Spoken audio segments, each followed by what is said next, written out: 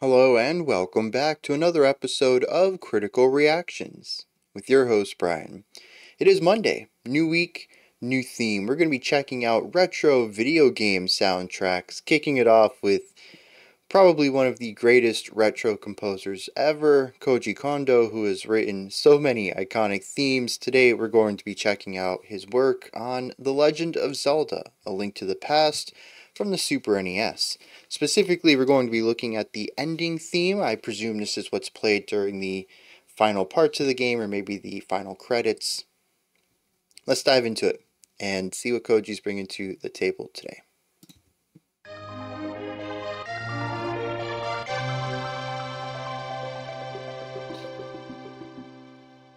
So yeah, we kick it off with a big victory fanfare. Oh, more fanfare. There was a twinkling down though in the left channel and it was sort of like finding rest, the end of a journey.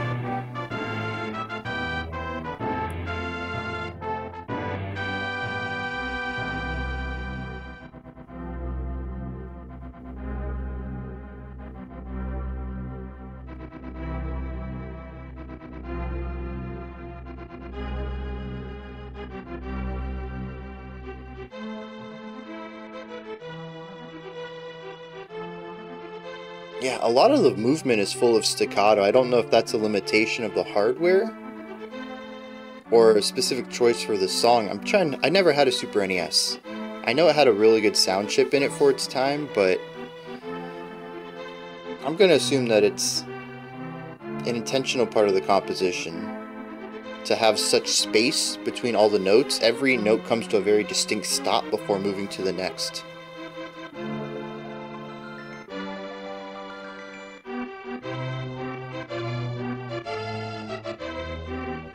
Bringing back the fanfare. So we had a little bit of darkness earlier, and I wonder if that's sort of like chronicling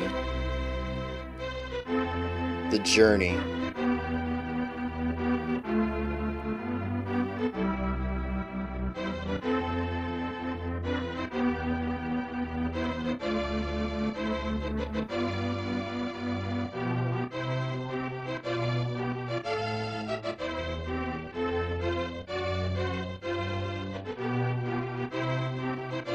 Know what's really cool is I think that there's a second track for this main melody here that's sort of, it's closer to the center pans, but it allows it to feel like a delay or a reverb. I don't know if they would have had access to uh, a sort of uh, a reverb effect, but it feels like it there, and I think it's just having a second channel that's behind the main one just a little bit.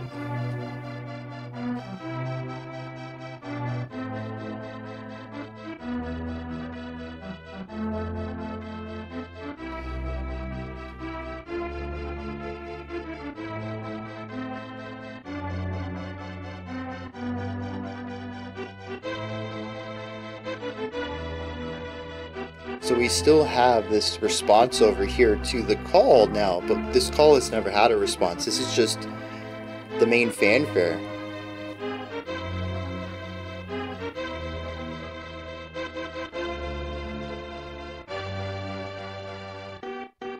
A ritardando back to the main motif.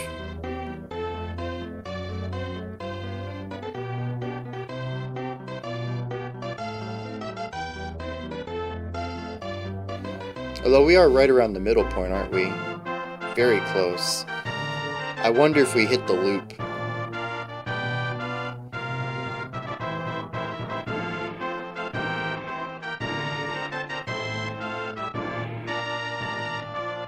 So we have something that sounds like a timpani over here, but we have something that sounds like a big cymbal over here.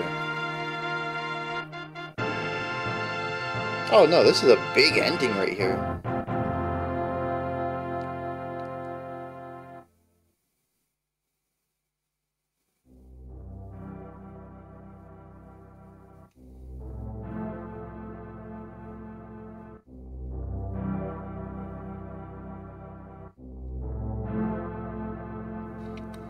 So we have an arpeggiation across three different voices. They also have different placement in the mix.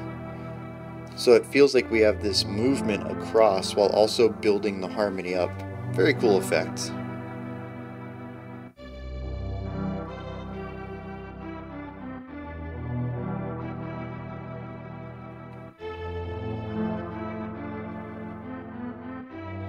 I do have to wonder if there's any callbacks to other themes across the game in this. I've never played Link to the Past, so I don't know. But if so, it'd be a nice way to wrap things up and would explain some of the discrepancies between a few of the ideas that we've had so far. Like, this doesn't fit really at all with the triumphant fanfare we had it certainly works within the context of, you know, the journey's over. It's time to relax. But it'd be very cool if it also had callbacks to motifs or musical ideas from other parts of the game as well.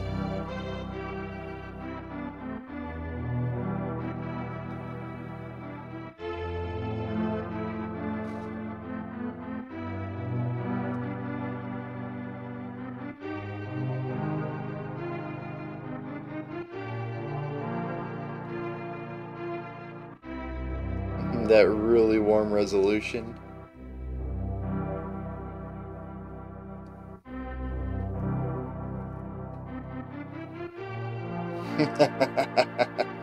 Speaking of callbacks, this is the Legend of Zelda theme. Slowed down, lighter, less bombastic. Boom, boom,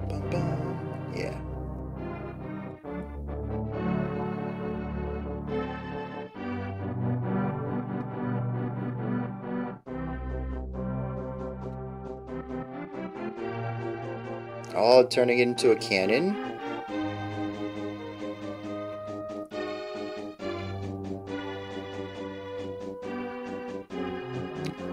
Well, it started as a canon. And now it's turned into something else entirely. Just ornamental ideas coming from the flute style, the clarinet style instrument over here.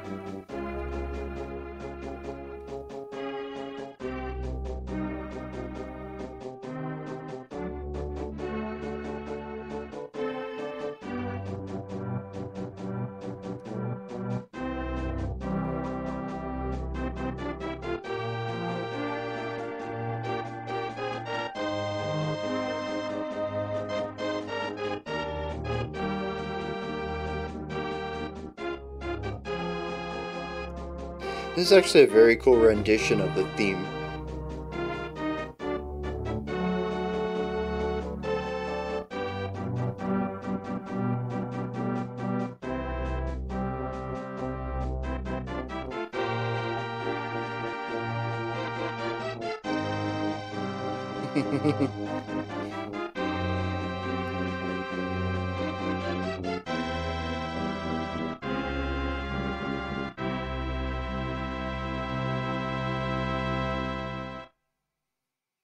Hmm, they bring it down. I figured with all of that build up, repeating that core first few notes of the motif over and over in different instruments, they were going to end on something larger. And instead, they sort of bring it down and it ends, I'd say, about half of an octave lower than I expected.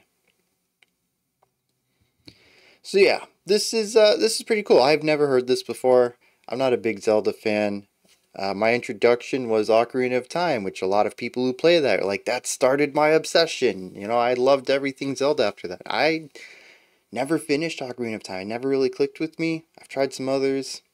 The only ones that I, I like Game Boy Color versions. Link's Awakening DX, Oracle of Seasons, and Oracle of Ages. Every other Zelda game I've tried just doesn't work. I've tried Link to the Past just not a big fan of it. I'm sure I lost some some subscribers there. I might have lost some video game cred too. Like I care about that. you want some other hot takes? Uh, go to the Discord server, uh, the the Critical Reactions Discord server. Go to the video game group, and uh, yeah, I've got tons of hot takes in there too. So I've also defended tank controls. I have no video game cred, is what I'm saying. Ah, oh, jeez. But yeah, so I've, I've never played this, never got an opportunity to listen to this. But I'm glad that I have now. I think this is a very cool rendition, and I do think I need to dig more into Koji Kondo's work on the Zelda soundtracks because while the games don't really click with me, I do like the music that he makes for them, what I've heard um, so far in my life. So I should definitely dig into that a bit more. Let's dive into what's going on here, though.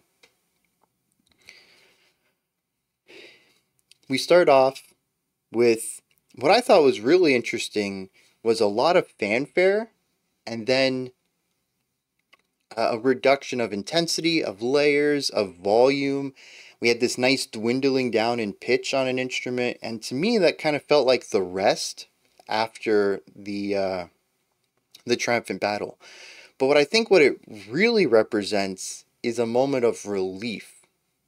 I assume Ganon is the final boss, as he's always the final boss, or possibly Ganondorf.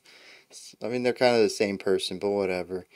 Um, you know, you you do your last sword swing on him, you beat the boss, and you can release the tension from your shoulders. You know the game's over. And assuming that it's not a game and you are Link and you know this is your life, there's a weight lifted off your shoulders. Now the danger is gone. You've saved Hyrule. I think that's what that's supposed to represent. Because right after that, we have the victory fanfare. This is the celebration event. There's no time for rest yet. um, and so I, I, don't think that that descending piano line and the, the reduction of intensity is supposed to represent rest as much as relief.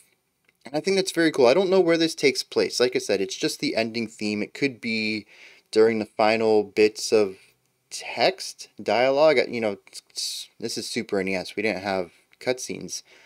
Um, but it could also be credits, which takes place a little bit after the narrative events. So I might be a little bit off with my interpretation here, but that is the general feeling I'm getting out of that.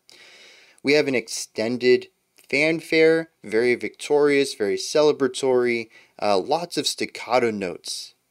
Interestingly, later on, we'll also bring in a marching snare idea, and the two of these are very common in militaristic ideas, uh, militaristic musical ideas, um, focusing on power, strength, uh, sometimes regalness, and also victory. And I think that's why, for the most part, we have a lot of those staccato notes in here. We have very sharp, accented endings to notes. Again, it could also be a limitation of the hardware, but it could also be a limitation of the hardware utilized in a thematically appropriate way. One of the cool things about listening to retro music like this is that limitations breed creativity, and you can absolutely use some of the limitations of the hardware in order to further accentuate the ideas you're trying to in your music. So it might be a limitation, but it might also be something that was deliberately done or deliberately utilized to uh, to sell this moment. And I think it does. There is a very victorious element to it about uh, an overcoming of battle specifically is what I feel in it. It's not necessarily victory of, you know, accomplishing uh, you know, getting a degree or something, being the best farmer of Hyrule there is something very combative about this overcoming with physical strength is what the fanfare tells me. And a lot of that comes down to the use of staccato notes, the very sharp, uniform ending of notes. It's it's very militaristic. Um, and like I said, we do even get marching snare stuff towards the end of the song during the reprise of the the theme song the main Zelda song. um, so I don't think that this is completely off the wall of a of a read in the music. Um, what I do like about this is there is a little bit of variation in it. It takes up roughly three minutes, I think, is what we were looking at, because I had mentioned that we were about the halfway point, and I thought that maybe we had hit a loop in the song, because you know, video game music tends to be loop based, but if this is played over the credits, then Koji Kondo knew the exact length of time the music needed to take up, and it could be a linear song, which it does end up being. So I do think that uh, there is little, if no, player control happening here, um, which means that it, you know, scripted movement, maybe scripted text, could also be credits, anything like that. Um, But yeah, it's about three minutes long after we exclude that little, the little intro, the the immediate victory jingle followed by the descending intensity. Uh, we have about three minutes for this this militaristic celebration jingle, or not jingle song section. Um, and within here, I thought we had actually reached the point of repetition, and we did. We we revisited the earliest motif in this section, but what's very cool is we added something new to it. Somewhere along the lines, we had added this ornamental, I think it was a clarinet sound off to the right, and it continued on after we returned to the first motif. However, where it was sort of this ornamental thing off to the side, sort of doing its own thing in the previous section, when we return to this core motif, it is now a response to the motif's call, which the motif wasn't a call at the beginning. This is just really great writing. It is fascinating to see one section, one, one idea, one, one musical concept be introduced, and it's sort of it's not it's not that it doesn't fit it's just sort of doing its own thing it's not related to anything else that's present and then you bring back an older section and you're like oh it's sort of foreshadowing coming back here but like we didn't know it was foreshadowing because we never heard these two sections connected before but now that we hear them there's a, a very complete idea here the call and response between these two and it was built up over several ideas it's just that's man, it's so good. It really is. Um, such a lovely idea. There's also what I think was overcoming a limitation of not having reverb. Um, I had mentioned that we had a lead melody coming off from the left, but there is something sort of center left over here that was playing the same exact thing, but a little quieter and a little delay, just a hair behind. And it gave the effect of this reverb. It had a bit of I don't know what you would call it in in visuals. We would call it a bit of transparency. I don't know what you would call that in the musical term, but it almost feels like sonic transparency where it's still the sound that we were hearing, but it's just quieter, it's airier, it's more ethereal. It, it seems that it's just not taking up as much space, as much physicality to it. And that mixed with the delay sounds like it's the echo off of the room, the acoustics of the area that we're being that the music's being played in. It's the reverb of the room. It's very cool. Um, and again, restrictions, creativity. It's a natural pipeline from one to the other. Um, and it just it makes these instruments sound more like horns like real horns rather than the MIDI horns that they are, or maybe even just the synthesizer sound that it is. It might not even be MIDI horns, it's just that the sound has been manipulated enough to sound like trumpets to me. And then when you give it that reverb, it's just enough to trick my brain. I'm like, oh, these are pretty good trumpets in here. When really it's probably just like, I don't know, a sine wave or something and you know modulated this way and that way a little bit of this a little bit of that. But it does a good job of crafting the feeling. And you know like i said i never had a super nes but much later in my life i kind of researched some of the hardware into all this and the super nes's sound chip is really good for its time.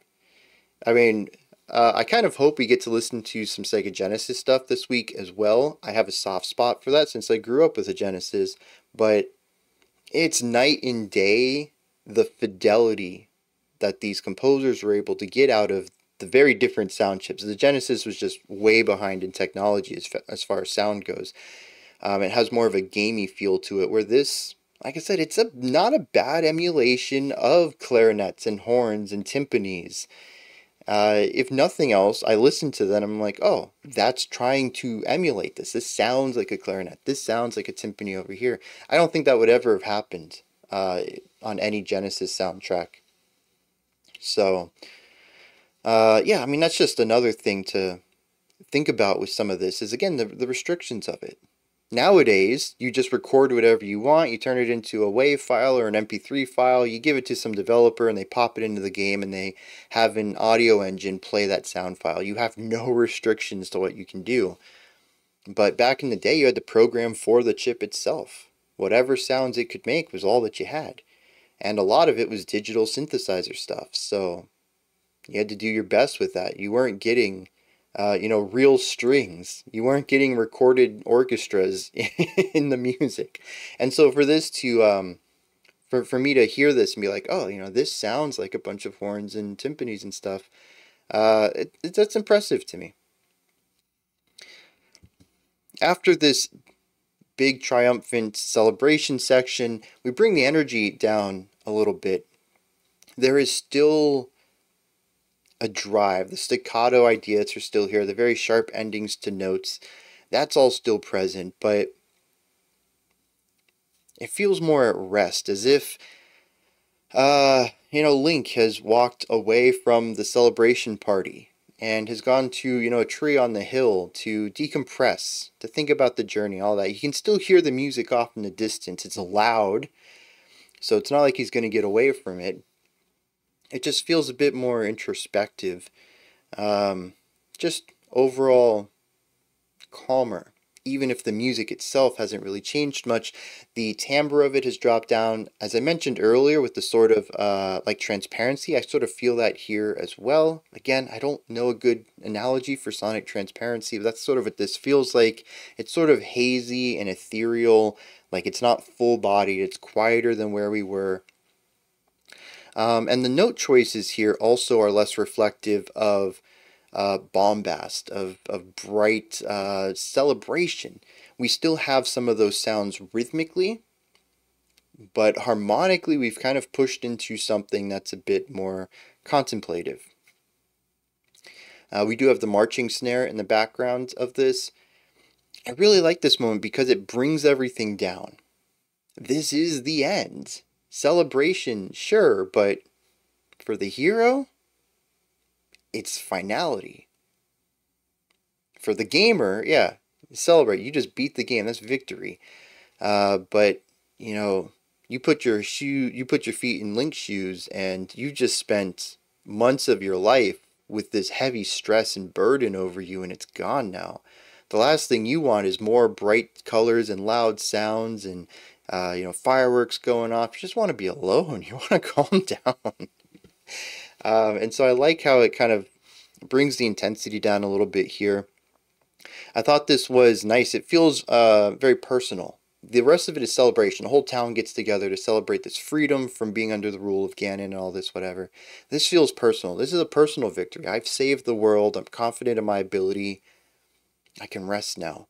And then I really love how it takes this theme and then slowly molds it you can begin to hear some twinklings of the classic Zelda theme in it. And then it goes full on and then just, just transitions into that. And it brings it full circle with the first Zelda game. As far as I'm concerned, it plays the main theme from that one. It's quite possible that this main theme is also present at the title screen of Link to the Past. Again, I haven't played it, so I'm not sure. But even if it's even if that's the case, it does bring it full circle with the beginning of the game. The first time you boot it up, you hear this sound. So regardless of where this sound might originate, um, in comparison to where it's utilized here in the end credits, it's still a type of ending the cycle where we where we began and bringing the entire concept full circle. Um, I do like how it is a slowed and reverbed version of it, so to speak um, kind of bringing down the intensity of it and uh, again presenting a bit of rest. This is still the legend of how this happens is sort of how I understand these. I know like in the moment you're playing Link battling Ganon, but like every game is a different retelling of it and it feels like a legend depending on who tells you the story. There's different enemies, different bad guys. Uh, you know, Link goes through different uh, you know areas and stuff like that. I've always kind of envisioned it like that, rather than the timeline thing that people have formed, which I just think is ridiculous. Um, again, another hot take from me.